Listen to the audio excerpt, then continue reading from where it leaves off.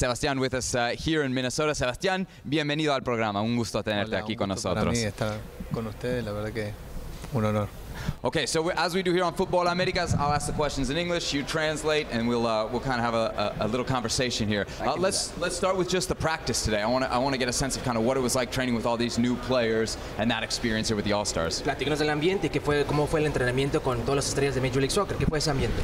Ah, la verdad que un, un ambiente muy lindo, la verdad que a la mayoría lo conozco de habérmelo enfrentado y, y por algunos tengo gran admiración, así que nada, un lindo entrenamiento hoy. He was saying that uh, it was a beautiful practice this morning. He knows most of the players because he's played against them, uh, and he looks up to some of the other players uh, as well. Háblanos un poco de, or let's get a, a little perspective on, on the rivalry with Liga MX, and from his perspective, maybe where he sees it as an Argentine. Bueno, platícanos un poco de lo que sabes de la rivalidad entre Estados Unidos, Major League Soccer, en este caso, y lo que viene siendo Liga MX y lo que has visto tú en tu tiempo aquí. Sí, bueno, me, me lo enfrenté muy, muy poco a la, a la Liga de México. Eh, tuve dos amistosos con Austin, contra Pachuca y Atlas. La verdad que fueron muy exigentes. Son, es una liga que, es muy buena, eh, todos lo saben. Así que nada, va a ser un lindo partido también y un lindo espectáculo. Said he has uh, little experience against Liga MX outside of a couple friendlies against Pachuca and Atlas that he said were very, very tough. He says it's a good league, so expects a, uh, a good game as well. Let's get into Austin's success this year and specifically his, right? Um, obviously, he comes midway through last year. This year, though, obviously MVP form, and really he's been hot all season. Hay que hablar un poco del éxito que has tenido, no solamente tú en lo personal, pero Austin también. Llegaste de mediados de temporada del torneo pasado. Este año es otra cosa, estás en ritmo de mejor jugador de la liga. Platícanos un poco del éxito que ha tenido tú en lo personal y también Austin. No, bueno, como vos lo decís, creo que llegué el año pasado, el equipo no estaba muy bien, pero creo que este eh, inicio de torneo creo que hicimos las cosas muy bien, las seguimos haciendo. Así que nada, hay que seguir trabajando con, con humildad, eh, corrigiendo muchísimas cosas porque hay muchísimas cosas por corregir. Pero bueno, estamos cada vez más cerca del objetivo que es entrar a playoff, así que hay que seguir por este camino.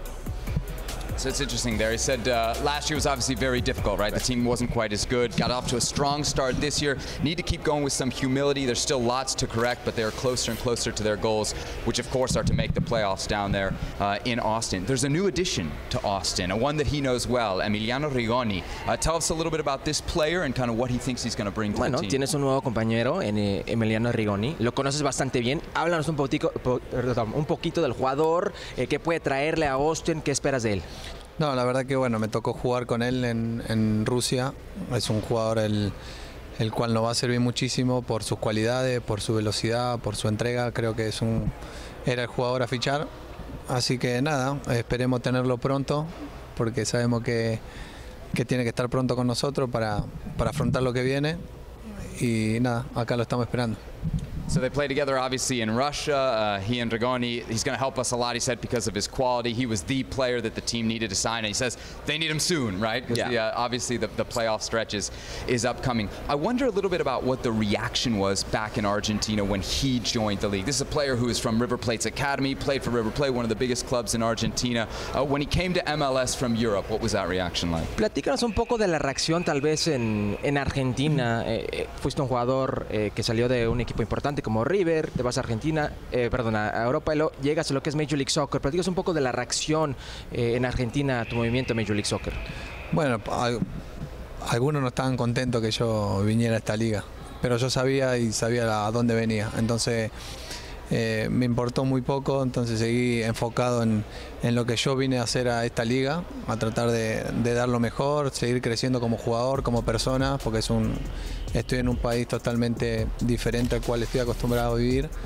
Así que nada, eh, feliz de estar acá, no me arrepiento de la, de la de la decisión que tuve, así que nada, feliz.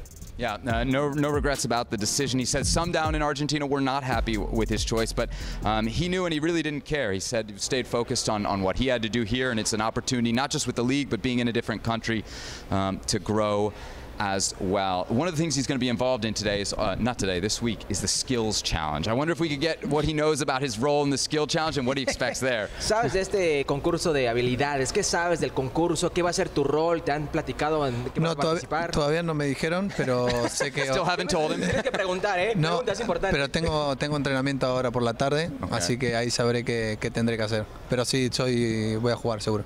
Ah. Okay, so he knows he's going to be in the skills challenge. Uh, he's going to find out what role exactly later today when they do the uh, when they do the practice. Let's talk a little bit about atmospheres, right? He's seen some big games in Europe. Obviously, I'm sure playing at River Plate, he's seen some ambientazos. How does that compare to maybe what he's living in Austin? Because we know Q2 can also uh, pack the house and have a great atmosphere. Díganos de, del ambiente, has vivido unos ambientes bastante intensos. Sí, River pero- Plate, obviamente Europa. Platícanos lo que es- conoces ahí en Austin, ¿qué, qué vives? No, increíble, increíble. Me llama la atención cada vez que jugamos, la gente, lo- la verdad que vive el partido básicamente como en Argentina, con esa euforia, con esa gana de que el equipo gane, siempre eh, empujando a- a- al equipo. y La verdad que me sorprendió muchísimo. Mm. He says it's an incredible atmosphere down there in Austin. It surprises him every time. Basically the same uh, as Argentina, so it's a big part of what uh, what Austin has been able to do this year. Quickly. I think he's tricking us. I think he speaks English. Ah, see? Yeah, yeah, because he, he's already answered before I even talk.